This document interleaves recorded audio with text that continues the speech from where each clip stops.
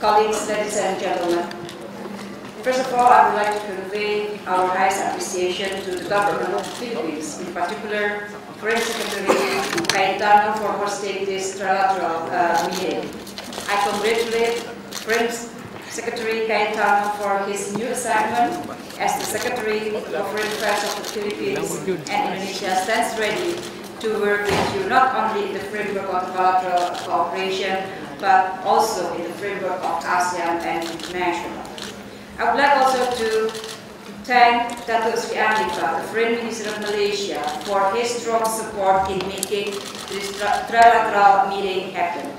Allow me to introduce my distinguished colleagues, the Commander of Indonesian Armed Forces, General Gatot Nurmantyo, the Chief of Indonesian National Police, General Tito Karnavian, the head of Indonesian National Counterterrorism Agency, Commissioner General Suhardi Alius, and the Deputy of Chief of Indonesian National Intelligence Agency, Major General Chandra Sukocho. Colleagues, ladies and gentlemen, we observe closely the development in Marawi City. Indonesia strongly condemned the terror attack. On behalf of the government of Indonesia, I would like to express our sympathy and condolences, especially to the families of innocents, police and armed forces of the Philippines.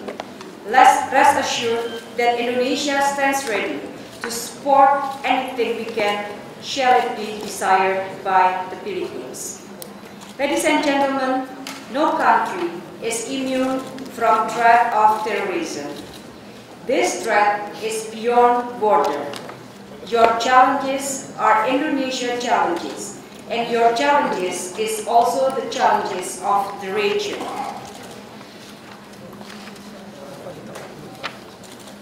For this reason, Indonesia proposed to have this trilateral meeting.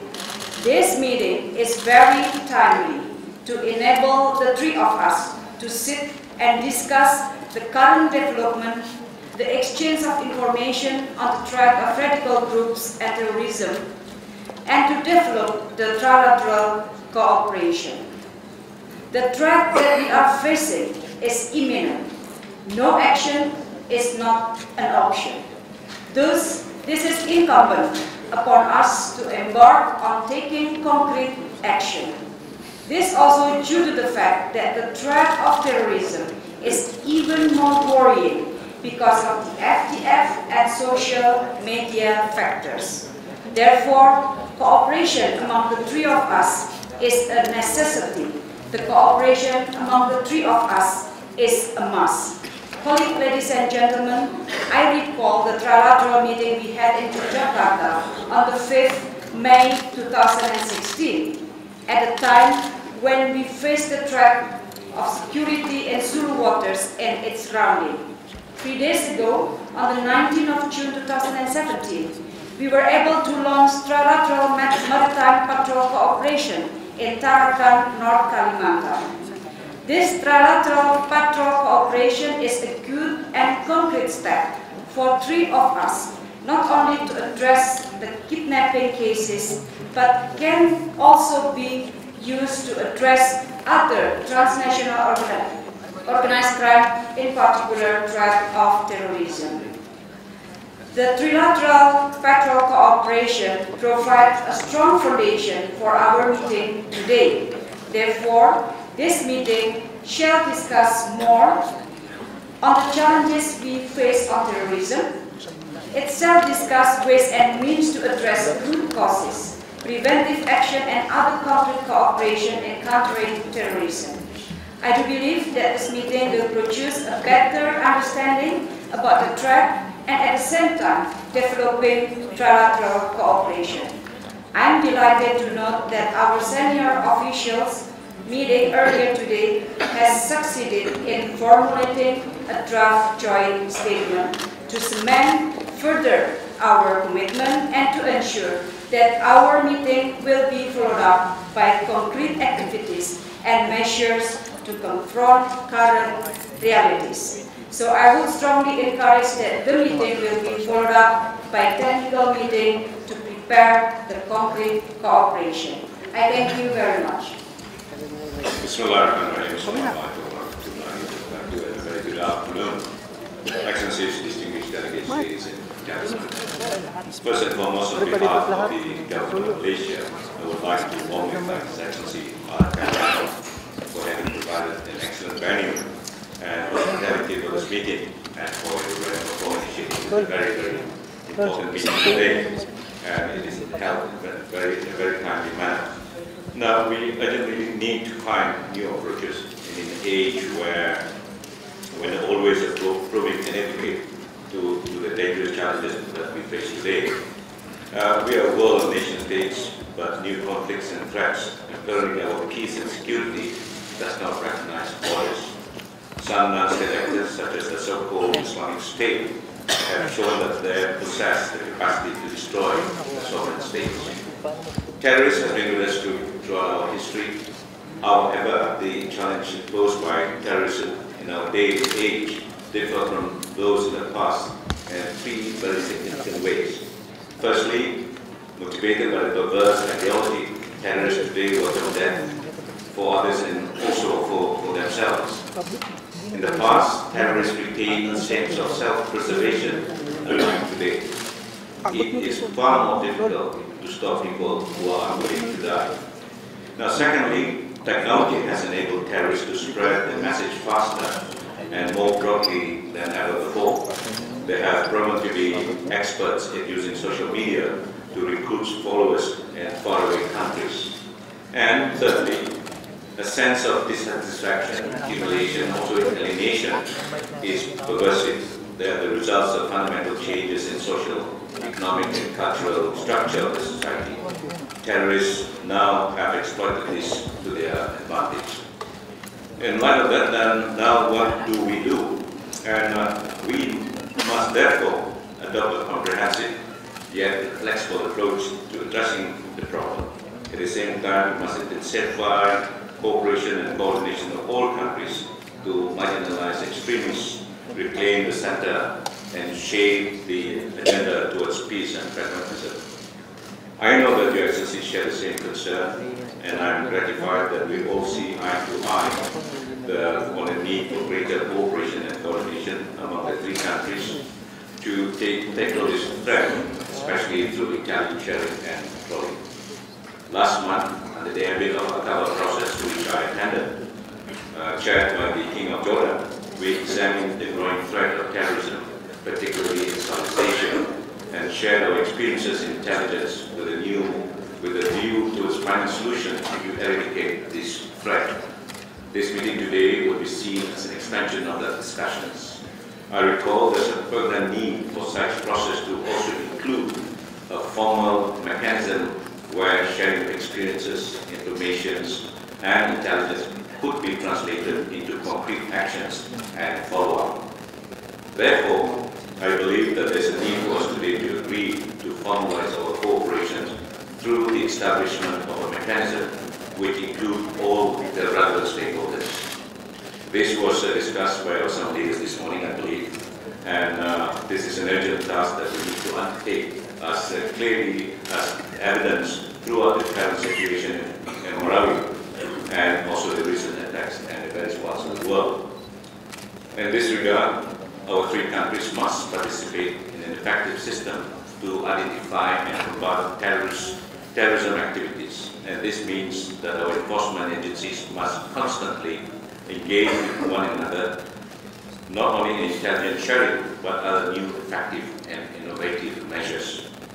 This is an urgent need to proactive in facilitating the prompt exchange and processing of information, strengthening inter-agencies and corporations and assistance in investigations on criminal activity amongst the relevant stakeholders in our countries as a cohesive unit, as well as the cross-border cooperations and the coordinations of relevant operations.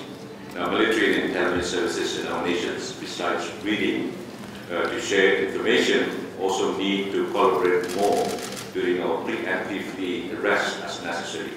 And given the sophistications and inventiveness of the terrorist groups, we must be innovative ourselves.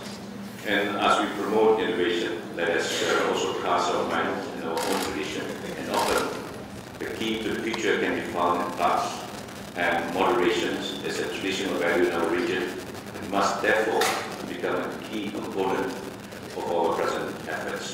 Now, Malaysia stands ready to share its experience, and I wish to again propose that we work towards a formalization of a mechanism for this trilateral process, and we task our staff leaders to continue deliberating this, this proposal and report to the next trilateral meeting, which hopefully can be convened before end of the year, or preferably sometimes in October. And uh, before I conclude, let me introduce uh, my team. And of course, on my left is uh, Tan Sri, Dr. Sri Zulkifli Muazzin, Director General of the National Security of Malaysia. And to the left is uh, General Tan Sri Raja Muhammad Afandi bin Raja Noor, Chief of Armed Forces Malaysia. And on my far right, Tan Sri Dato Sri Khalid bin Abu Bakar, Inspector General of Police of Malaysia. And of course, Dato Ramlan Ibrahim, our Secretary General. So ladies and gentlemen, once again, uh, I to reiterate our commitment, to work together as a team in combating this act of uh, horror. And I'm hopeful that this meeting will help to address the common security threat that we now face. Thank you very much. The book of James tells us that faith without action is dead. Islam is a religion that also teaches that their faith and their actions go together. In fact, all great religions of the world teach faith with action.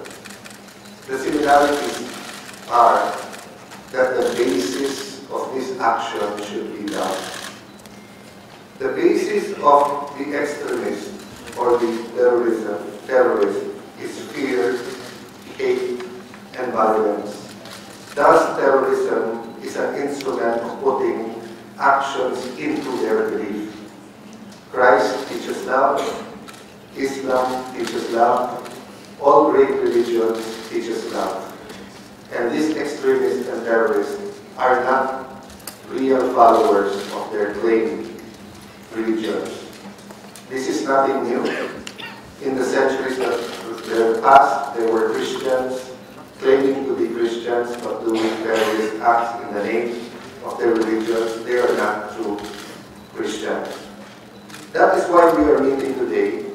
That is why we are all exerting all efforts to build a, so- a society that embrace, embraces all people and all religion. Please allow me to extend our profound gratitude to um, our brothers and sisters in Indonesia and Malaysia for your expression of support for the work that you've been doing over the decades in the peace process in Mindanao. Allow me to thank Mr. Retno and Mr. Anifah for making this possible. To all our Muslim uh, brothers and sisters around the world, Assalamu alaikum. Allow me to uh, introduce the Philippine delegation. On my right is Chief of Staff, General, General Eduardo Año. Um, again, to my near right is General Hermogenes Esperon, our former Chief of Staff and now our National Security Advisor and Chairman of the National Security Council. On my left is our Deputy Minister of uh, Foreign Affairs and Secretary for Policy, Enrique Manalo. And to my far left is uh, General Ronald dela Rosa, the head of the Philippine National Police, more popularly known as Bato or the Rock uh, in the Philippines. As we salute our armed forces and our police, our gratitude goes out to the MILF and the MNLF and all groups who are struggling for justice, but doing it through dialogue, through the peace initiatives. We are sincere in addressing your concerns, their concerns, and their demands. Those radicalized into extremism do not follow the teachings of any of the great religions, as I stated earlier. This meeting is called that we may help each other as we, as we, as we may be of assistance to each other. For Filipinos, not only to love the Philippines, but for Filipinos to love Malaysia, love Indonesia, love ASEAN, love Asia and the rest of the world, in the hope that the love that the Indonesian people and Malaysian people have shown to us will continue and further grow. Those you love, you protect. Those you love, you want them to live in a place of peace, security, and stability. That is why our men and women in uniform are giving everything, including their own lives, that we may be safe. We are meeting today that we may cooperate and collaborate and care about each other. While the battle is now in the hands of the armed forces, let us not lose sight that drugs, crime, poverty, and injustices create fertile ground for extremism. The struggle to uplift the quality and dignity of each life is the ultimate struggle. Minister Retno, again, Mr. Rifat, for your good delegation, officers of the different uh, armed forces, the, the national police forces, and the intelligence ladies and gentlemen, may I again reiterate our gratitude for taking time out of your very busy schedules to show the world that the Philippines is important to you, to show the world that peace and stability in our region is not only important to us, but that we will be doing everything and anything we can to win that peace and win that stability.